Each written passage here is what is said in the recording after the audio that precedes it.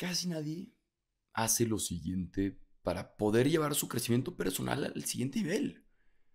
Nadie se atreve a pedir retroalimentación de la gente que tiene alrededor. Así que acompáñame en este episodio para enseñarte cómo hacerlo de una manera efectiva y que mejores. Porque si mejoras tú, mejora el mundo. Y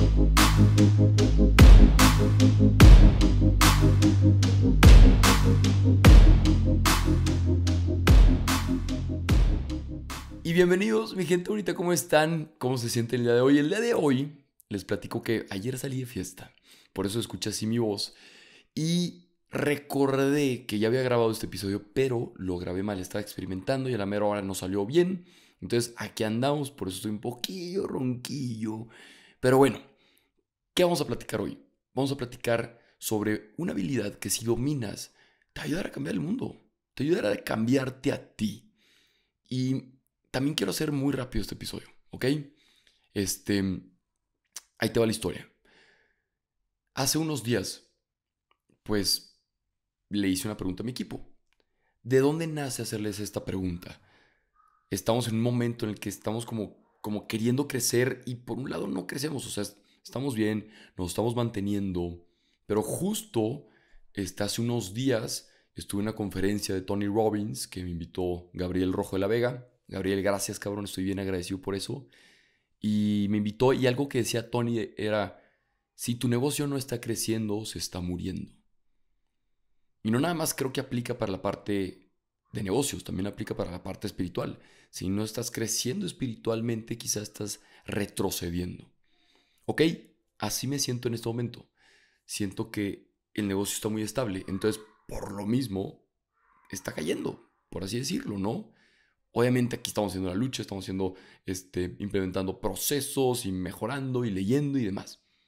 Ok, si estás en un momento así, en el que estás como estancado, ¿qué es lo que uno debe de hacer para mejorar, pedir retroalimentación. Pero muchas veces no somos lo suficientemente humildes para poder pedirle retro a nuestro equipo, para poderle, poderles decir que, oye, dime algo en lo que pueda mejorar.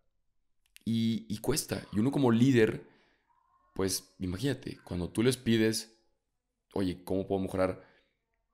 Te estás viendo como débil, este, te estás viendo como pues no sabes lo que haces, puedes dar inseguridad. Pero creo que es una percepción errada de pedir feedback, porque más bien si tú pides feedback a tu equipo, a tu pareja, a tu familia, ¿qué es lo que va a pasar? Más que verte débil, te vas a ver fuerte, porque te estás viendo sabio, y un sabio reconoce que no sabe todo. Entonces necesita de los demás para poder mejorar. Así que no te ves débil si pides feedback. No te ves que no puedes, incapaz. Al contrario, todos sabemos que tenemos que mejorar. Pero bueno, te voy a compartir algunos pasos que te van a ayudar a ti a que puedas pedir feedback de la mejor manera posible. Ok, te voy a platicar mi caso. Le pedí a mi equipo de que, oigan, me pueden dar una cosa que me esté deteniendo este, para poder avanzar y ser mejor. Y muchos de mi equipo, o sea, tanto Andy, Lucía, Meli, Javi, dijeron cosas parecidas y al final lo concluí que es en gestión del tiempo. Entonces, ¿qué fue lo que hicimos? Compramos nuestro librito, cómo gestionar tu tiempo de Harvard Business Review. Este, y estamos en pláticas, estamos viendo clases para poder mejorar nuestro tiempo y también pues platicando con el equipo de que a ver cómo puedo hacer esto y lo otro, cómo puedo mejorar la agenda. Y más que yo decirles estoy mejorando, voy a dejar que mis acciones hablen por mí. Ese es mi caso pidiendo feedback. Ahora te lo voy a descomponer en distintos pasos para que tú también lo puedas hacer. Para que no nada más lo pueda hacer el rorro. Ando grabando con una gorra. Si estás viendo esto, si estás viendo esto, si estás escuchando esto en Spotify, bríncate a YouTube para que me veas allá en YouTube, suscríbete al canal. Este, si estás viendo esto en YouTube, también pásale a Spotify y pícale follow, dale seguir al podcast. Tenemos, creo que como más de 100 mil seguidores en el podcast. Y bueno, ok, pequeño anuncio. Te lo voy a compartir en tres pasos. Este, tres pasos para poder pedir feedback de una manera efectiva. Oye, Rorro, ¿de dónde sacaste esto? Aparte de mi experiencia personal, de un librito que se llama Resiliencia de Harvard Business Review, de esta serie de inteligencia emocional. Porque justo lo que decía este libro es que para poder practicar la resiliencia, tenemos que saber pedir retroalimentación. Una cosa es darla, pero otra cosa también es recibirla. Y muchas veces no sabemos recibirla. Entonces ahí te va el primer paso. Si quieres que la gente que te quiere, la gente que te rodea, te dé feedback y que te sirva, ¿ok? El primer paso es que te tienes que abrir, ¿ok?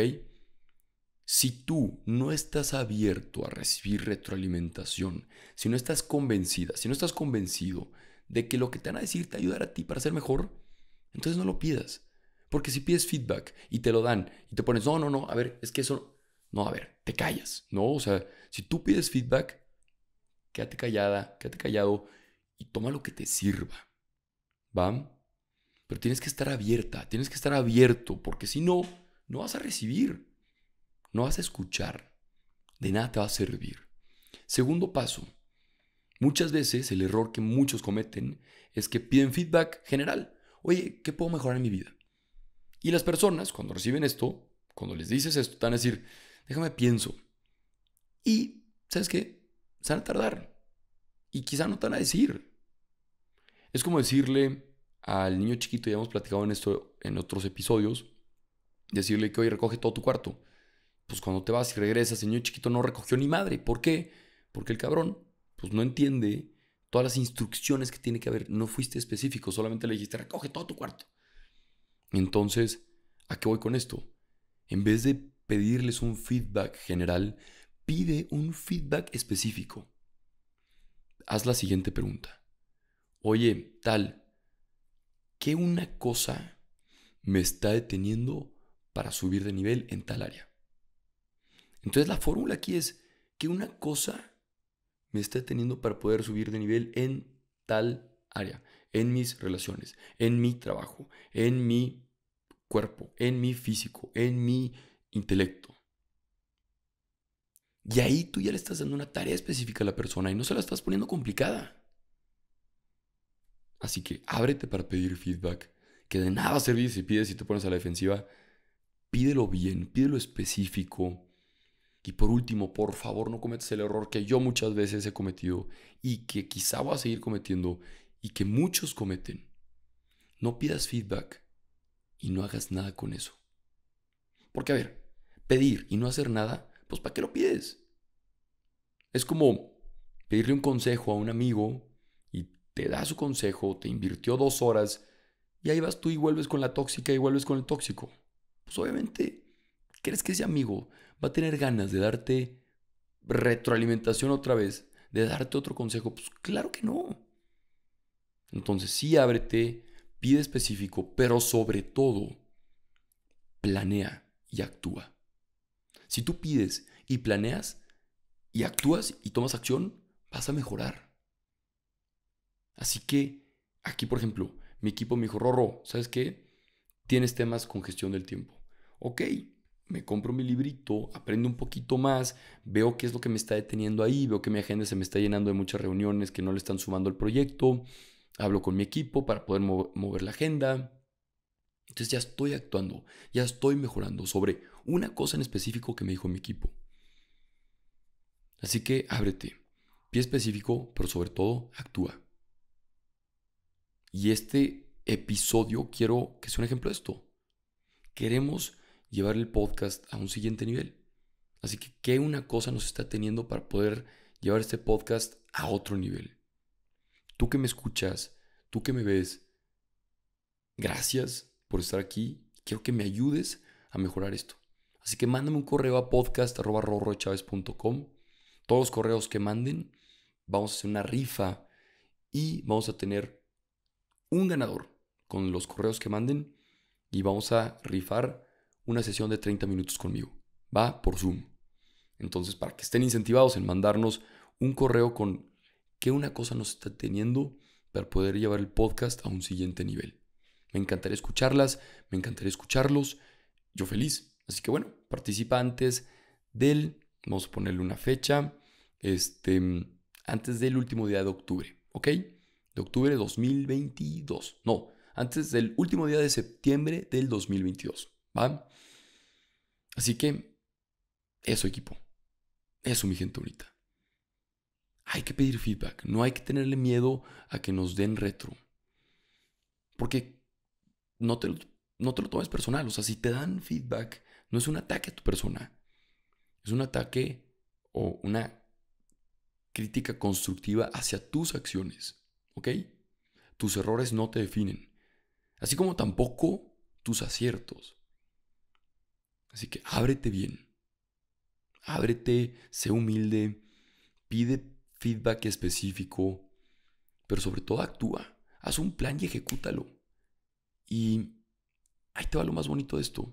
Si tú pides retro y actúas, vas a mejorar.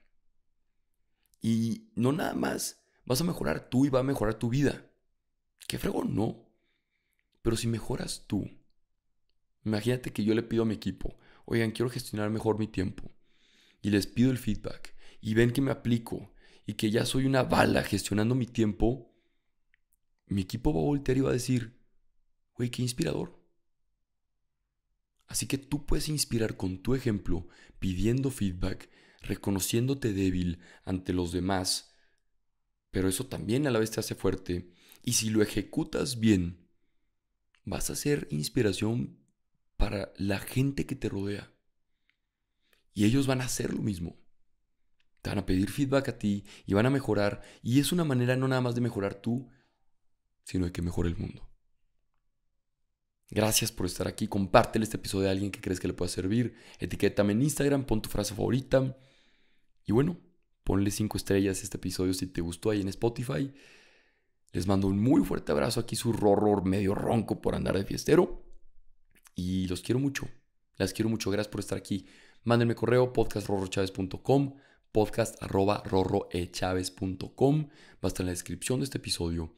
Igual si estás en YouTube, comenta aquí abajo qué es lo que podemos hacer para mejorar. Este, y de verdad, gracias, gracias, gracias por estar aquí. Les mando un muy fuerte abrazo y un besito ahí, cerquita de su corazón. Nos vemos, nos escuchamos en el siguiente episodio. ¡Ánimo!